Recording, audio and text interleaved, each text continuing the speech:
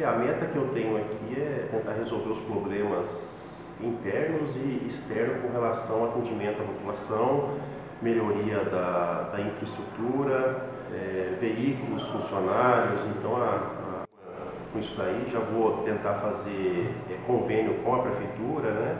que faz o convênio com a Polícia Civil e Prefeitura, com o Judiciário, através de destinação de verbas pecuniárias através do CONCEP e COPECO, e para ver se a gente já consegue, o mais breve possível, fazer essa reforma e adequação para que a população venha aqui seja bem atendida e com um local condizente com que, que a Polícia Civil tem que prestar. Outro problema, doutor, outro gargalo da delegacia hoje é a questão do setor de identificação.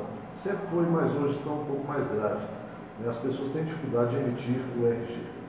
Essa é uma medida prioritária desde quando eu cheguei na terça mas eu já comecei com, com, com na segunda-feira com contato no governo para que eles disponibilizassem na sala, na, na, no site que eles administram, que é mg.gov.br, a opção de agendamento, igual tem as UAIs e algumas delegacias do Estado. Esse, esse agendamento gera custo para o governo, então está no setor de planejamento desde segunda-feira, mas acredito que até a semana que vem a gente já consiga essa disponibilização para agendamento. Então as pessoas, a população de patrocínio e região, aqui em patrocínio, não vai mais ficar nas filas desde as 4, 5 horas da manhã para pegar a senha.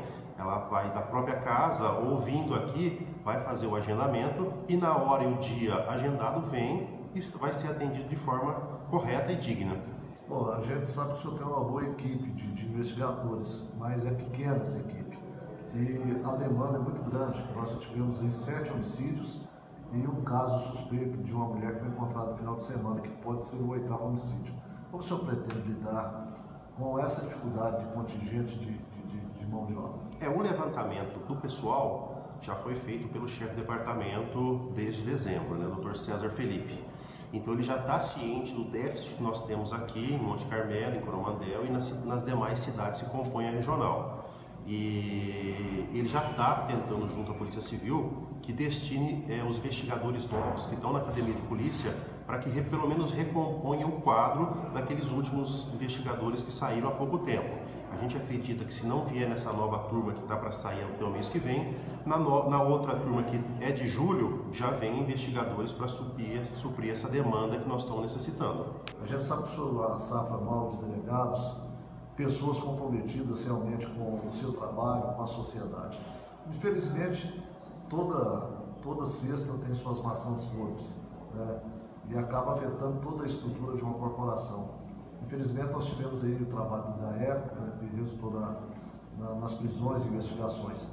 É, o senhor como pretende lidar da agora para frente, já que a Polícia Civil teve uma situação traumática recente? É, com relação a essas prisões, o, próprio é, cúpula da, da, Polícia Civil já está lidando com essa situação. Então, com relação aos presos, a própria cúpula que está lidando como que vai ser feito com eles presos, o remanejamento vai continuar lotado aqui.